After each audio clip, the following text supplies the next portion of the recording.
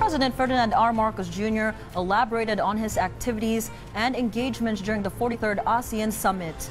The chief executive reported he had various fruitful bilateral meetings with leaders of other nations, wherein he underscored the key issues that are important not only to the Philippines, but are also mutual interest of ASEAN members.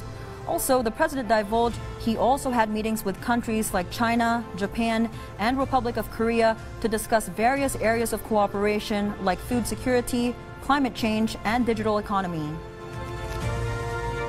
43rd ASEAN Summit and related summits demonstrated that countries around the region are committed to regional cooperation and multilateralism, but remain challenged in promoting peace, security, stability, and prosperity in the region.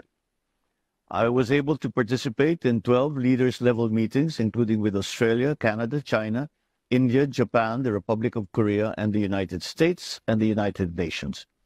In these meetings, I promoted and highlighted key interests of ASEAN, such as food and energy security, migrant workers protection, climate change, and digital transformation, issues that are of strategic importance to the Philippines.